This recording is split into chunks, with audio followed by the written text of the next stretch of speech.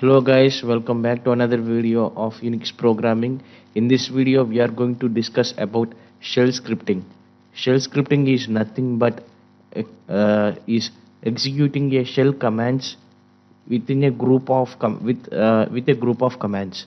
I mean if you use who or uh, ls w pwd or like that commands so you can use those commands to execute a task so in this way the shell scripting will be done. The commands that we are entered uh, are that we are that we are uh, learned earlier in the in my videos. You can see those videos about the commands and the explanation. The those commands are used in shell scripting. And uh, here we can see some command substitution and file substitution con concepts. So the before going to those uh, these topics we are going to build some basics. So that basics will be covered here. And there are uh, there are four different types of shells in unix. So first shell uh, these four shells can be changed by using chsh command which is not covered in our earlier videos. But while i am changing the uh, shell in unix it is not able to change um, saying that pam authentication failure. I don't know what is the reason uh, if you know how to solve it please comment them in the comment section. I mean please uh, mention the solution in the comment section. And there are totally four different types of shells in our unix which will come uh, which will come from pre-installed. There uh, the these four different shells are bourne shell Korn shell bourne again shell and c shell. You can see the parts that that I had mentioned here bin slash bash and the and the shell indicated by dollar prompt whenever you are uh, waiting to enter the command in the terminal there you can see this type of symbols dollar dollar like this. Uh, most of the shells will consist of dollar prompt but c shell will consist of percentage symbol i mean percentage symbol while you are entering a command at the terminal. And here these are the meta characters that we, that we are going to cover in this section. See here output redirection. This greater than symbol is nothing but an output redirection which uh, which means we can uh, redirect the output into one file to another file. I mean uh, the output came from a command can be redirected can be uh, can be redirected into a file and that file will be stored that output that we got from the command. And here also greater than greater than symbol it is used to append the standard output to a file. When you entered a command and if you got an output in order to append that output to a file then you need to use these two greater than symbols. And next one is input redirection.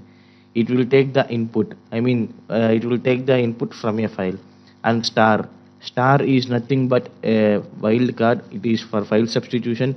You guys can see or uh, you can you guys can see this star is used in uh, regular expressions also. It is an atom. It is an atom or operator. I don't think so. So and this is a question mark. This means it will match any single character. And this is a group. So in this uh, we will uh, use some characters uh, to group. I mean uh, from the range. It means this means range. And here command. Command means it means uh, we need to specify if you want to use any commands in the shell scripting while shell script uh, while shell scripting if you want to use any commands then you need to place that command in the uh, in the curl quotations. I mean you can see that the number one i mean the key of number one present in our keyboard left to it is called the curl quotation. You can use that command uh, you can use that meta character. While uh, if you want to use any commands while you are scripting okay? And here this is uh, another meta another set of meta characters. Uh, first one is pipe. Uh, it, it will send the output. Here also it will send the output. This greater than symbol also. But this will send the uh, this will send the output of one process to the input of other. But whereas it will send the output to a file and tell to store the output into a file. But it will send as the uh, i mean it will send the output of one process to input as other process. I mean to input to the other process. And here uh, semicolon uh, if you want to use any sequence of commands in order to execute then we place that semicolon in between these two commands if you want to execute. And here uh, or symbol. And this is and symbol. Conditional or conditional and. If any if previous condition failed then the next condition will execute. I mean if previous command fails to execute the next command will execute. If any one of the command got false i mean not executed in this conditional and case next command also won't get executed. Here this uh, this meta character is used for group of commands this parenthesis. And here if you want to uh, background any process i mean if you want to run a command in the background then you need to specify the command i mean you need to specify this symbol ampersand symbol after the command that you want to run in the background. And here hash.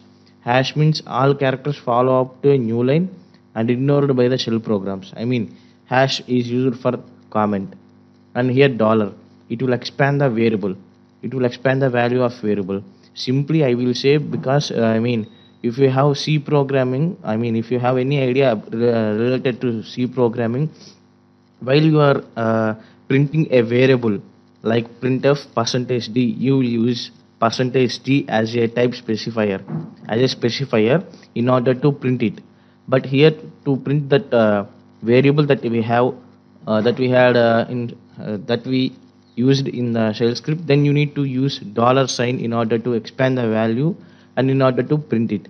And here slash it will prevent the special interpretation. I mean the next see i mean that escape sequence and the tab spaces will be prevented by using that character backward slash and slash slash t ok it will read the standard input from the script. And that's all what i want uh, got for this video. These are the meta characters that we covered in this. And uh, in later session we will cover one by one. I mean one by one meta character we will see the example and then we will go to shell scripting slowly see here the commands you need to know about the commands that we had covered so in order to learn shell scripting you need to know and you need to get a grip of a grip about the commands so if you directly seeing this video I am leaving a uh, leaving a suggestion here i in the cards. You need to see that video before starting the shell scripting. Before uh, because shell scripting is mostly dependent on commands, so you need to use some commands like this. Uh, I mean, in this meta using this meta character, uh, so that your uh, scripting will be easy if you use more commands. So for that you need to know about the commands and their functionality that we had discussed in the earlier videos. Uh, this is what all I got for this video. I hope you like watching this video. Please do like and subscribe to our channel. Have a great day.